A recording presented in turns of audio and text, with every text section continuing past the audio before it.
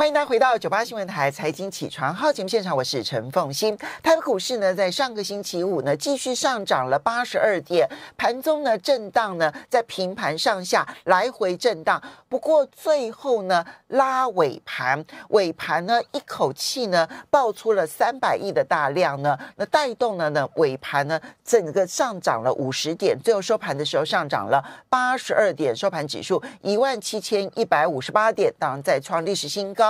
涨幅百分之零点四八，成交金额四千两百四十四亿元，也放大了。那这个成交量啊，那 OTC 呢则上涨了一点一五点，收盘指数是二一零点七四点，涨幅百分之零点五五，成交金额是六百七十四亿元。在今天在我们现场的是风云投顾资深分析师何金城，今天大哥也非常欢迎 YouTube 的朋友们一起来收看直播。好，这个今天大哥，我们先把上个礼拜五的这个台北股市。盘面上面让大家了解，台积电礼拜四举行法说会，其实法说会是失灵的，所以呢，那么我们看到台积电的 ADR 在上个礼拜四是下跌的，上个礼拜五的台股的 A 台呃这个台积电呢也是下跌的。好，那么所以呢，整个台北股市上个礼拜五的上涨，其实主要的是传统产业，还有金融，对，金融非常的强劲。那这种结构。要呃预告的是一个什么样子的一个走势？台积电的哎这个法说会就就从此失灵了吗？怎么看待？这个部分是这样子哈，呃，短线上来讲呢，从开完红盘以后呢，如果你把资金 parking 在台积电，其实是没什么赚钱的，因为最低是五七零嘛哈，最低是六六八。那加上最高六六八，最高六六八，最低是五七零啊，就是从开完红盘之后，那当然那个它的最高点是六七九，嗯，那我们看到它从这一次开完法说以后，会给他我们大家一个思考。他讲说我第二季就收手，嗯，他讲的意思就是这样嘛，我我这样讲你们不准锤我哈。他讲我说我第四季、第二季我要第三季才会大好，但当然第三季会大好，因为有苹果嘛，嗯。那第二季就就持平，而且再加上，因为我投入这个五纳米的时候，我很多资本支出，我资本支出加大了，我的摊体就摊体费用就加大，所以所以你折旧未来折旧摊体就是说我。我资本支出增加了，我的每个月的呃折旧费用就增加嘛。那所以他说我的毛利率大概维持在五十个 percent 上下啊。那大大跟华联的预期呢，大概就小差一点点。那卖超卖的比较多的外资有卖，那是正常。倒是投信，投信毛起了头来一直卖，卖也不少。它其实不止在华它华收会之前就开始卖。那这样的状况，我们去思考一件事情：以前我们台北股市，去年台北股市是谁带谁带起来？半导体对半导体，它台积电带起来以后，把 IP 带起来，嗯，然后把 IC 设计带起来，把设备股带起来，把封测通通带起来。它一组带起来呢，就挂一一挂蚂蚱肉粽，对，这样整粽一挂蚂蚱，蚂蚱然后刮出来。那今年的时候，我如果我突然跟你这样讲，我我肯定很多人一定会打我的脸。我说，如果第二季是传产股带，然后它休息，你们觉得可不可能？那如果是这样，因为站在财报的角度上来讲，我们看到这几天呢是谁带的？中钢。嗯，你什么时候看过中钢是这样涨法？我我我做了三十年，我也很难得看到中钢是涨停板的。没错，对，那这种大牛股，这样大牛股这样带起来，那中钢带起来不是一直带，他把所有的钢铁股都带起来，他那个概念不是跟以前台积电把所有的。呃，这个半导体带带起来一样，你看什么随便点海光啊，什么什么中红啦，只要点得到了，通通是涨停嘛。对。那这样他们有没有占权重？他们占，一幅度虽然不大，但也占权重。为什么占权重？因为他们股本都很大。哦。他们像中中钢以外，其他的那一天是五六十亿，五六十亿。像中红也对呀，对，股本都很大嘛。那股本都很大，就会占据一些权重。哦，这是第一个。我们不是说他把它全部都。都都全部都供起来，那这个这个主题要怎么做？所以我今天给大家题目是一万七千点选股的新思维。嗯，还有另外一个财报非常好的其实是金融股。嗯，我们上一回在这里讲，我说它财报真的很好，你存股族什么不用想了，就存金融股吧。那你看看，哎，这个金融股它也慢慢慢慢慢慢起来，它没让你失望。它从二月十七号那一天你买所有任何一档金融股。没有一档是赔钱的。你说过完年后，过完年后，嗯，是不是这样？对，那股票是这样，没有套牢筹码的股股票，它才会涨得快；有套牢筹码的股票会整理。嗯，所以回过头，我们就讲说，那二月份在除夕之前，除全息之前，半导体有可能会整理。哦，所以你你现在的时间点是拉到除权息，那除权息的旺季可能会是五六月嘛？对啊，我从现在就开始讲，就是第二季啊，好第二季上半季。所以你觉得它不是一个一两天的短期现象，它可能会是一直整个延续到除权息行情之前，它都是一个传产金融领军为主，然后电子搭配，但是整理的时间会比较多一点。因为你不能说电子也攻，船产也攻，那一定是五千亿以上，六千亿都搞不好都看得到。那如果是这样的情况下，台股的量会有有点失控哦，目前的这样。那你说缓和一下，因为你第二季大家展望比较不好嘛，那你休息一下，打底。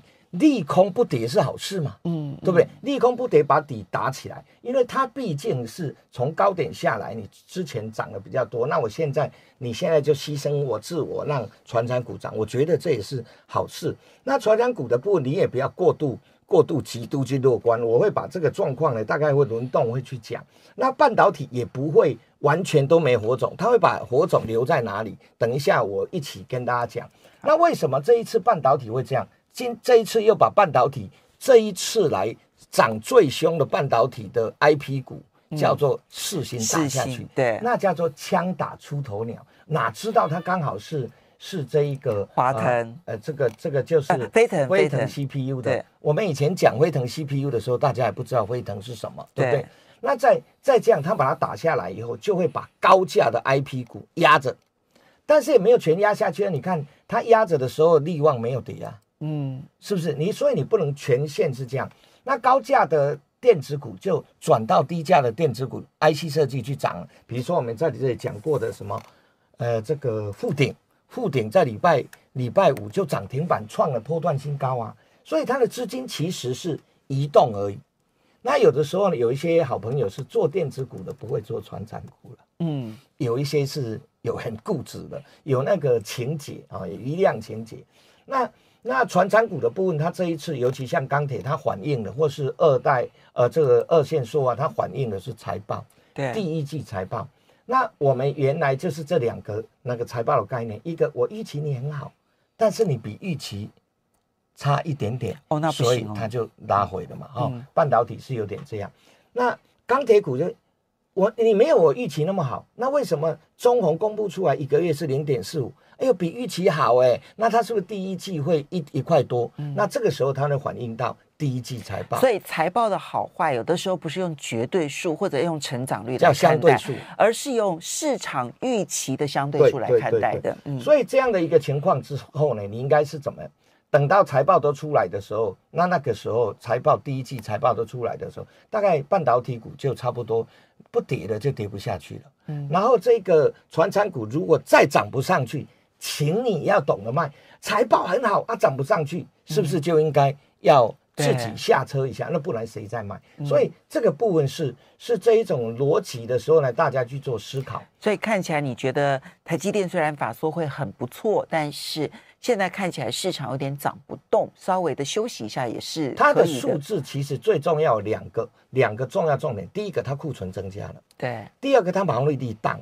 而且他客户的库存增加，对对对对，他也的库存，他自己的天数，我记得好像多到八十三天嘛，哈，那这个部分，他哎，你不是卖的很好，为什么库存在增加？这个是市场上会去想的嘛，哈，那库存有的时候增加，大家会想到是你是不是有重复下单的这个问题？台积电倒比较不会，对，但是回过头你去看一下，哎，大家反而买哪一个？买联电，所以总体来讲，这样就不代表说这个。半导体会会下来，它只是把高低价差稍微做一个小调整，嗯，就这样而已。所以大家不用太过的担心。那它会留火种在哪里？台积电呢？以前台积电在攻的时候，它火种最早以前留在三三七四的精彩，嗯，那后后段的时候留在三六六一的。呃，四星啊，因为四星带着它，你看四星是从一百来块，台积电那个时候是五百多块，然后一百来块冲到一千块，然后台积电冲到六百多块嘛，就是一定有尖兵。那现在它会留在哪里呢？今天媒体上有到有讲到这个新贵跟跟这个上柜的资金 parking 到那里，它会留在外资在这个上柜 OTC 的投资就变多了。对对对对对。然后我们看今天也有媒体有讲到是是这个新贵的也热了，好，新贵也热了。那它会留在哪里？留在它的产业比较没余力的小金鸡，就彩艺上面。那你大家可以去彩艺六七九八，嗯，哦，六七呃六七八九。等一下我会讲一下，那它现在是股后，刚挂来是股王，那被历届把它超越了。等一下我会把把这个部分呢，稍微把这两档股票稍微很客观的去剖析一下，让大家做一个了解。好，那对他来讲，因为他现在股价呢是低于台积电。他曾经一度超过台积电，那未来的讯号在哪里？我把讯号讲出来。讯号如果它引动起来，那彩玉的股价会超过台积电。嗯，它股价超过台积电，就代表这个族群等一下会上会上去。它是在 CIS 的产业，CIS 就影像感测，影像感测未来，比如说我们讲到苹果在新机的时候，它它那个呃这个呃镜头会这这个会会。话术会增加，嗯，那这个时候影像感测包含在这个啊电呃电动车或是或是 ADAS 的自驾车上面都要这些镜头了。那你看现在涨价了，我看 Samsung 好像今年涨了百分之四十了，嗯，报价。然后这个呃呃 Sony 最大的 Sony，它也投片投在投投在台积电嘛，哈，请台积电帮他代工。所以这个这个等一下我会带到，会找会。会会把整个逻辑也会跟大家讲，它资金只是会做一个轮动，那这个轮动节奏你要抓对，这样就好。那一个产业的讯号讯号在哪里？我们也顺便帮大家点出来，让大家去观察。你就用观察的角度去看，那就说台积电什么时候？会上攻，那他一定有人会先动，绝对不会先动台积电。嗯，你看看这一次，所以你刚刚讲的节奏，第一个当然就是因为它在震动的这个期间，所以它可能先用小尖兵的方式。对对对对对，哈，这是第一个部分的节奏。然后第二个是大型的台积电要动之前，可能它前头的领头羊也要先动。对，所以现在小尖兵动还没有是领头羊哦。那小尖兵完了是是领头羊，领头羊完了之后才是台积电，对对对，所以那个整理的格局会是那那个那个节奏你会看得到，就像我们讲钢铁股，钢铁股开始涨先涨先涨的时候，你记得它先涨哪一个？一同上学去，哦，第一桶它是比较哇啪啪啪啪上去，后面才开始涨到中红，后面才开始涨到。当然，这个所有的投资还是要用长期的基本面来保护短期啊。我们稍微休息一下，等一下马上回来节目现场。欢迎大家回到九八新闻台财经起床号节目现场，我是陈凤欣，在我们现场的是凤盈投顾资深分析师和金城建大哥，也非常欢迎 YouTube 的朋友们一起来收看直播。好，所以嗯，建大哥刚刚提到第二季真的有可能，它其实就是传产金融领军，然后电子大方向其实在。这一个嗯，出全息之前，个别股表现对整理而个别股表现的一个情况。好，那当然很多朋友他还是喜欢电子股，所以呢，你特别提到第一个，你先讲台积电是休息的啊，所以他会把那个能量转移到可能跟台积电最相关的一些小尖兵，所以它的股本相对是比较小的。对，呃，它其实彩艺股本不不小。所以我也讲出我，它不算是它不算是小型股，它算是中型股。它二十九亿的股本很多。那台积电最早以前，我稍微把它介绍一下。等一下我就把整个类股来讲一下。现在啊，我们的股那个新贵的股王叫历界，历界就是做呃这个支付的啊。这个它是绿色的绿，然后界限的界，是 Oh My God 的子公司哦。有没有有有以前我们做这个这个行动支付的？有，我有。我有用绿界科技那个转账买东西过，这样好，对，有一些是 请大家自己去看看有没有。我跟大家讲，因为有一些很多小型的公司，他们可能不太适合用什么信用卡啊什么的，对对，那就用绿界，然后来控制那个风险。对，我就把这个介绍一下，因为新贵没涨跌停板，所以我只是介绍给你，不是讲最最最好是看。我们看一下现在股王呢是绿界，嗯，其实。这这一个月下来的股王换了三个，一个是先从瑞鼎，瑞鼎就是驱动 IC 那个，先冲到五百，五百历届再起来，再起来以后，彩艺挂牌以后，彩艺冲上去，现在历届起来，历届是一点二八，亿的股本，很小很小，小，这这很小很小的。太小型的，我们通常都不建议大家介入。用盈利率啊、嗯因为毛利率有的时候在新贵看的比较没有那么贴切，所以我用盈利率，盈利率它大概二十趴，十九点九，然后它的董监持股三十六点二三，那大概今年预估了十五到二十，那都是我就把它拿着放着二十来看，那它股价到礼拜五是六百三，嗯然后我们看一下彩玉，彩玉的时候呢，它盖新贵，所以它未来六个月之后呢，应该转上市，以它的股本会转上市，不会转上柜，嗯所以它未来应该也会是 MSCI 或是其他所有成分股很重要的。它的股本是二十九点一一亿，然后盈余率是三十六点八，非常的高的盈余率。然后再来的部分，它的董监持股是七十三点五二，嗯它原来台积电持有八十七，嗯。那因为要挂新贵，所以他把他另外十几个 person 呢给战略投资者。战略投资者有谁？国泰人寿，嗯。然后这个富邦人寿，还有新加坡政府基金，嗯。然后他大概也是十五到二十，两个获利差不多，嗯。然后五百四十八，两个现在差了八十二块，所以第一个，它的股本比较大，它的盈利率比较高，，对。它的董监持股相对来讲筹码比较集中，，对，获利来讲跟绿界是差不多的啊，但是股价有一点点差距。不过这是这是新贵，新贵还是要提醒大家，新贵的风险还是新贵没涨跌停，所以我刚刚开头就讲，那这个股票呢，你可以用长线的角度去观察它。为什么？因为台积电七十三点四八，基本上台积电没在卖股票。你有看过台积电？大概只有卖一个叫做六二四四的那个茂迪处分亏损，处分掉了。那另外一个呢？你在它的另外一个小尖兵上面要看的是创意。我们上个有讲，创意虽虽然你看这一次，呃，这个三六六一四星下去，创意没下去，嗯。投信反而是买，所以这个部分你去观察，这用创意跟财运去看观察它。那财运长线来讲，因为它的它的筹码是锁的非常的好，那所以这个部分呢，你未来可以稍微去注意哦，就是这一个。好，所以第一个是小尖兵的概念。那如果真的台积电要动之前会动什么？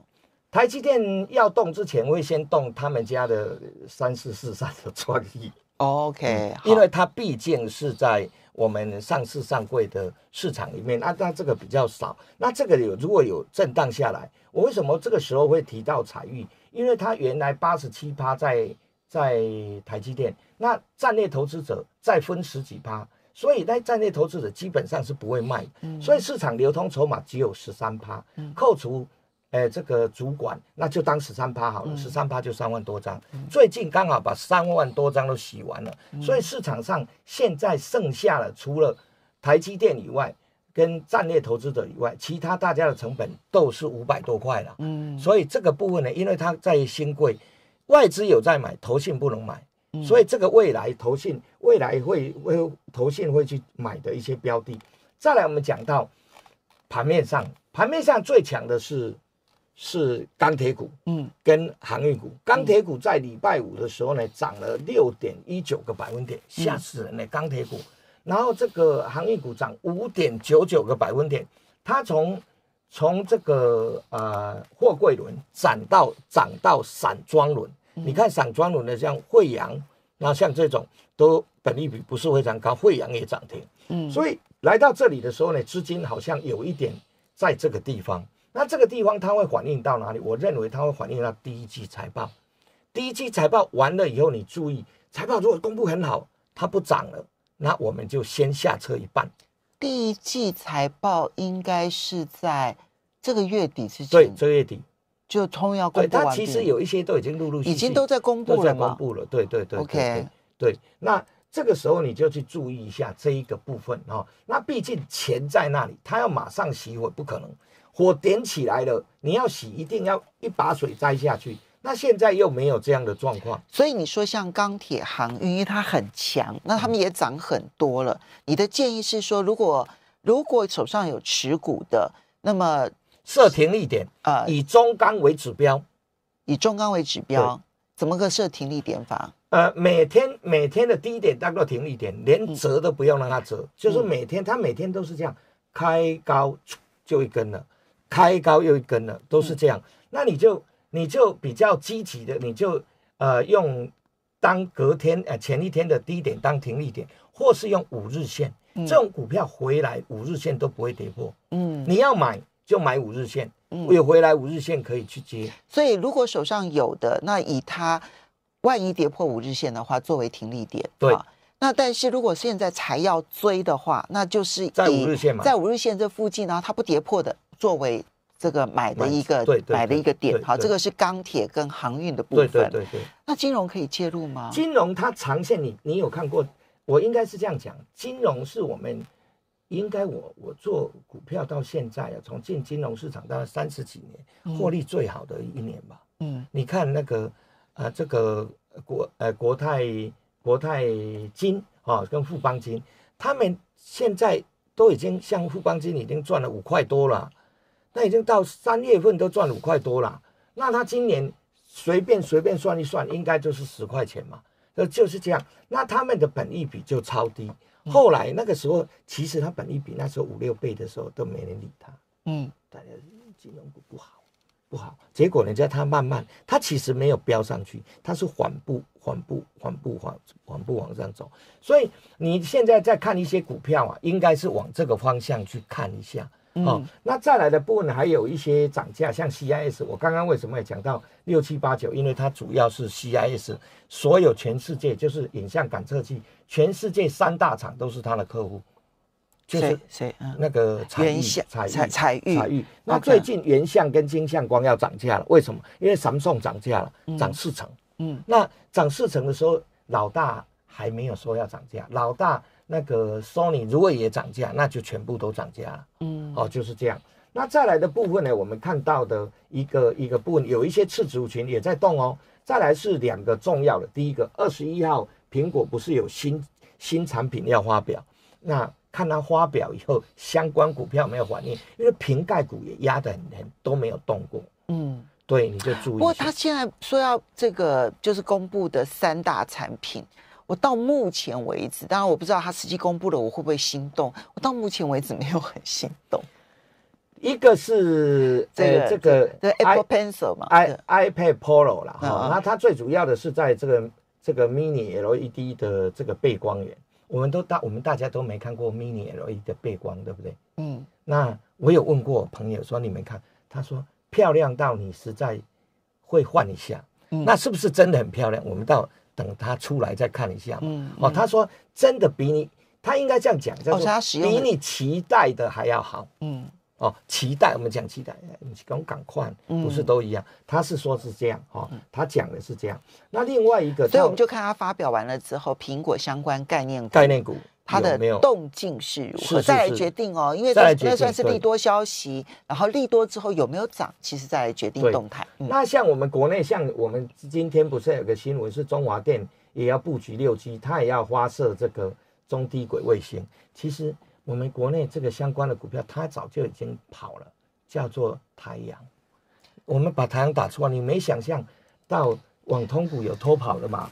你看台阳，把它拿出来看。等一下，金城金大哥，所谓的跑的意思是，就是它已经上涨了，涨了，涨了，涨了。我意思就它已经偷偷的先涨了。